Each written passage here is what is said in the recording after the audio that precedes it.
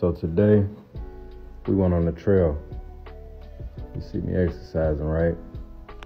Sometimes you you need this, you know, it's clarity as you can see. Cactus, mountains, good weather, a lot of space, a lot of nature.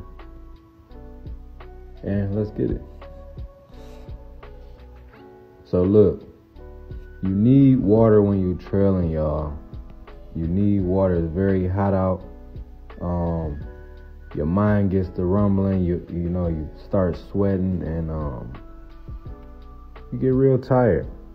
So as we get to the mountain, we got a perfect view, man. A wonderful view. I'm feeling good. I'm flexing out here. That's how I'm feeling exhilarated. It's exhilarating the whole trail. Um, as you can see, we up. We up on top of the city, just enjoying the view. Uh, everybody need that exercise, man, especially as a trucker, man. Keep on, let's let's go, let's go. So at the end of the trail, man, I'm getting tired, but we still going, and that's the picture.